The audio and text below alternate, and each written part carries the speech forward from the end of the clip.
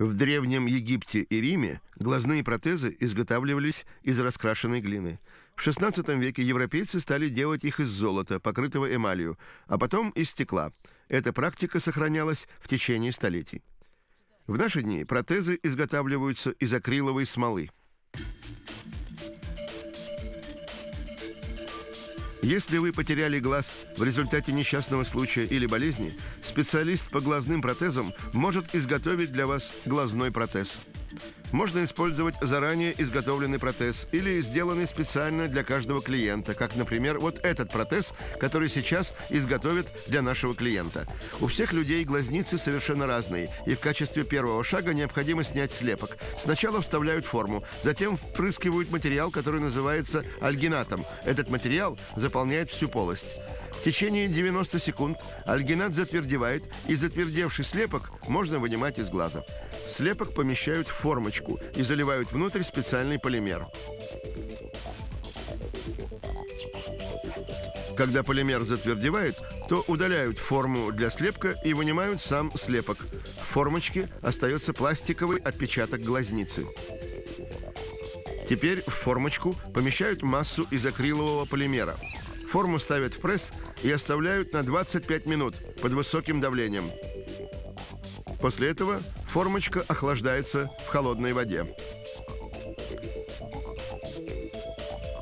Сравните первоначальный слепок и полученную акриловую модель. Эта модель служит заготовкой, которую используют для разметки положения радужной оболочки глаза – Разметка выделяется. Затем с помощью капельки воска прикрепляется трубочка. Она отмечает естественный угол расположения радужной оболочки в момент, когда пациент смотрит прямо перед собой. Далее по периметру модели наносится воск, чтобы увеличить размер модели. Избыточный воск поможет окулисту при окончательном формировании протеза. Теперь на основе размеченной и увеличенной модели изготавливается пластиковая форма. В дальнейшем ее используют для отливки самого глазного протеза. Но сначала необходимо изобразить радужную оболочку. Для этой цели берут выгнутый черный акриловый диск, раскрашивают его как можно реалистичнее с использованием высококачественных художественных красителей. Теперь необходимо личное присутствие пациента, чтобы изготовленный протез не отличался от живого глаза. Далее на нанесенную радужную оболочку наклеивают акриловый акриловую роговицу с радужной оболочкой соответствующего размера. В данный момент диаметр искусственной радужной оболочки составляет 13 мм. Если размер зрачка сохранившегося глаза меньше, то заготовку подгоняют под реальный размер. Затем радужная оболочка наносится на полимерную отливку, покрытую белой акриловой массой, и повторяют уже известный нам процесс обработки под давлением.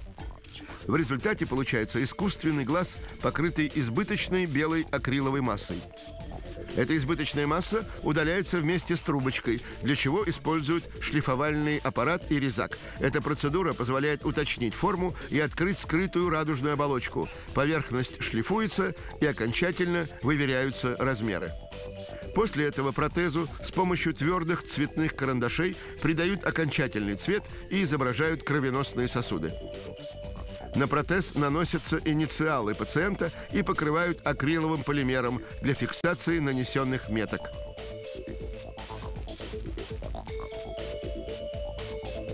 Для того, чтобы изобразить выпуклые сосуды, на акриловое покрытие техники наносят тончайшие шелковые нити –